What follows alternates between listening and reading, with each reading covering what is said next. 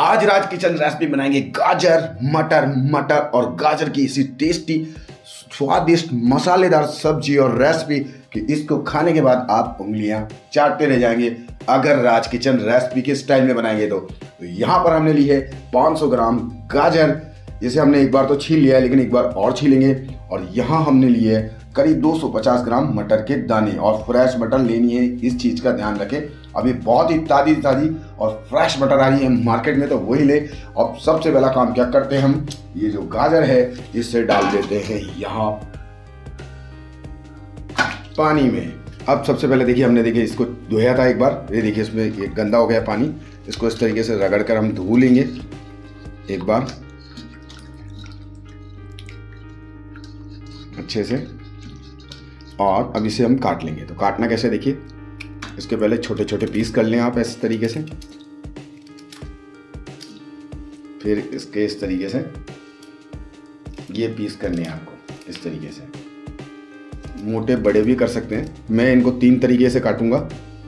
पहले तो इस तरीके से काटेंगे हम।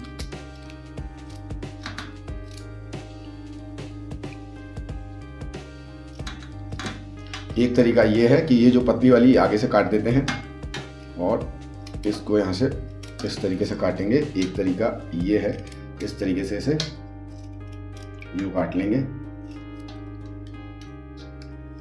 मैंने आपको तीन तरीके बोले ना, और एक तरीका ये, तीसरा तरीका, इस तरीके से सारी गाजर हम काट लेंगे। सारी गाजर हमने काट ली है तीन तरीके से। आप चाहें तो एक तरीके से भी काट सकते हैं।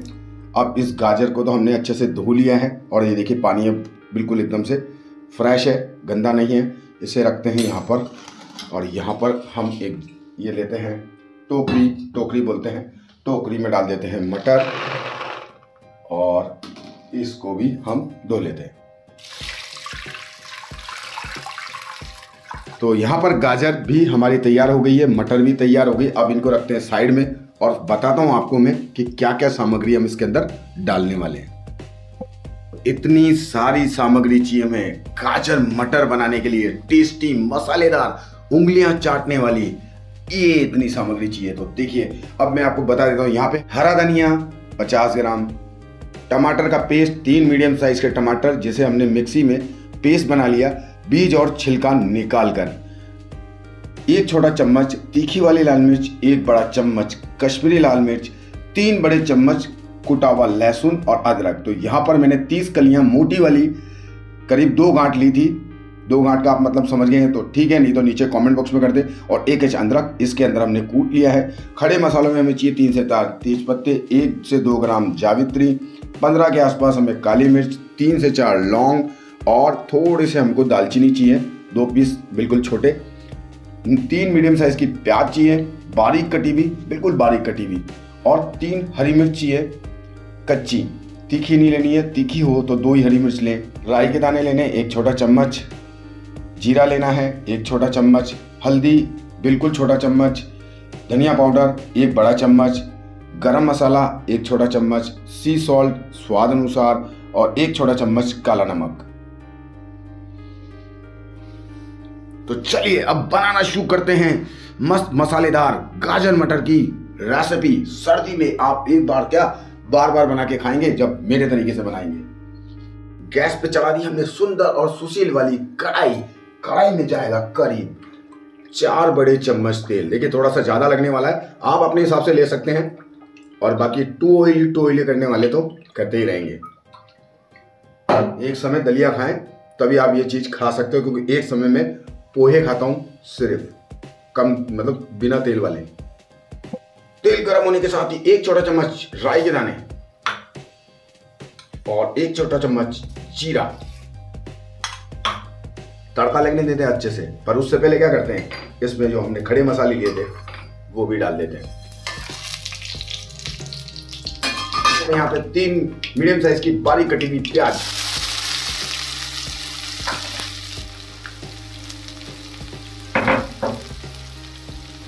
प्याज के साथ ही डाल देंगे ये लहसुन और अदरक। कुटा हुआ पेस्ट लेना है तो आपको यहाँ पर तीन चम्मच पेस्ट लेना पड़ेगा। मिक्स है तो और अलग अलग है तो एक छोटा चम्मच अदरक का पेस्ट डालें और दो बड़े चम्मच लहसुन का पेस्ट डालें। अब देखिए इसे क्या कर लेते हैं हम स्टर कर लेते हैं। वाह इसे गोल्डन ब्राउन करना है। टाइम लगेगा। मीडियम लो फ्लेम पर इसे गोल्डन ब्राउन करना है।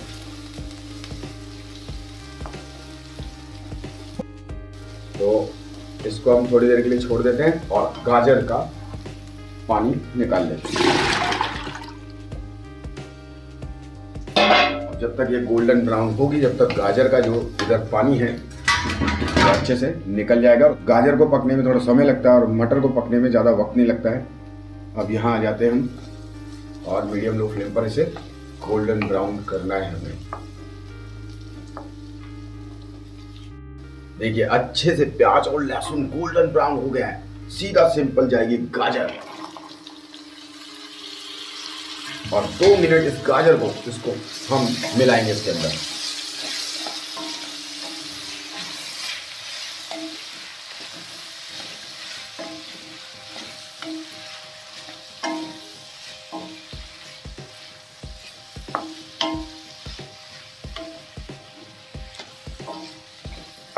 तो कहने का मतलब है, दो मिनट मीडियम लो फ्लेम पर गाजर को हमें इसमें स्टर करना है।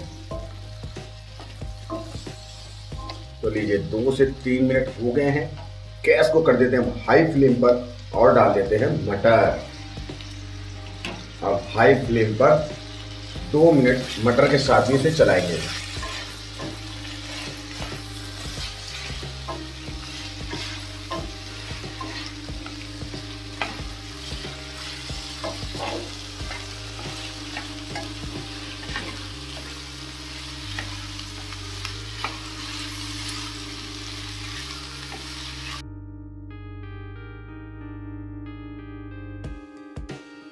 ये लीजिए, दो मिनट चला लिया गैस कर देंगे बिल्कुल लो फ्लेम पर।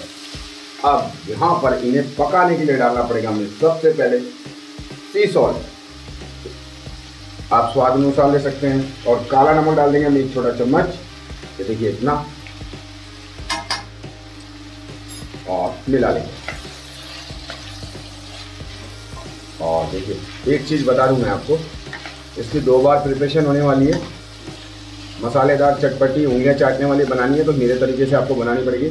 अब यहाँ हम एक छोटा चम्मच हल्दी डाल लेते हैं। ये देखिए मिला लेते हैं। अब दो मिनट इसे लो फ्लेम पर दो से तीन मिनट चला लेंगे। पूरे तीन मिनट लो फ्लेम पे चला लिया है हमने। अब डाल देंगे इसमें एक कप पानी। देखिए, आवाज़ बंद हो गई है। ग्रेवी वाली, हल्की सी ग्रेवी वाली में ज़्यादा मज़ा आता है। सूखी भी बना सकते हैं आप। तो आप कमेंट करेंगे तो मैं सूखी वाली भी आपको बना के बताऊँगा। अब इसे मीडियम लो फ्लेम पर ढककर रख देते हैं पूरे तीन से चार मिनट के लिए एक बार बीच में ज़रूर चेक करना है आपको और मेरे को भी। पूरे तीन मिनट हटा लेते हैं। ढक्कन। गैस कर देते हैं हाई फ्लेम पर। और हाई फ्लेम पर दो मिनट और चला लेते हैं इसे। देखिए कितना सुंदर और सुशील लग रही है हमारी रेसिपी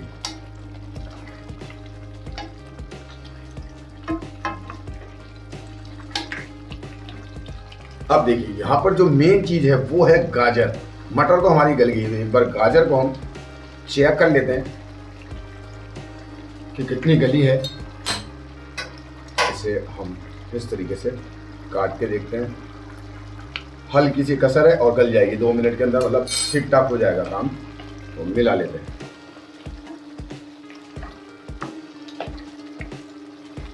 ये लीजिए, दो मिनट हाई फ्लेम पे हमने चला लिया है। गैस को कर देते हैं बंद। इसको उठाते हम और इसे हम खाली कर देते हैं एक बर्तन में। ये लीजिए यहाँ पर। ये देखिए, हमने निकाल लिया अलग। ये कढ़ाई हमने साफ़ कर लिया और गैस ऑन कर दिया देखिए, जलने की आ रही है स्मेल सी। तो बस दो छोटा चम्मच तेल डाल देंगे।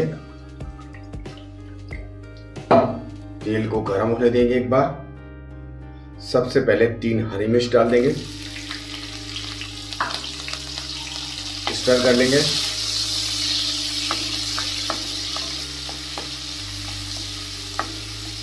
गैस लो फ्लेम पे रखेंगे। हींग डालेंगे एक छोटा चम्मच। सीधा डायरेक्टली टमाटर का पेस्ट मिला लेंगे एक बड़ा चम्मच धनिया पाउडर. एक छोटा चम्मच तीखी वाली लाल मिर्च. एक बड़ा चम्मच कश्मीरी लाल मिर्च. एक छोटा चम्मच गरम मसाला. और मिला लेंगे अब गैस को कर देंगे हाई फ्लेम पर।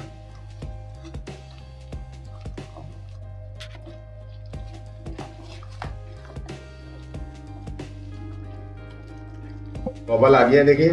तो बबल आ गए इसमें। गैस को कर देंगे लो फ्लेम पर। 100 एम पानी डाल देंगे। और एक बार और बबल आने देते इसमें। देखिए, अच्छे से बबल आ गए, बढ़िया से। फ़र्स्ट क्लास अब इसमें डाल देते हैं थोड़ा सा 25 ग्राम बारीक कटा हुआ धनिया। यहाँ पर पहले एक बार डाल देते हैं, दो बार डालना पड़ेगा हमको। ये लीजिए, इसे मिला लेते हैं।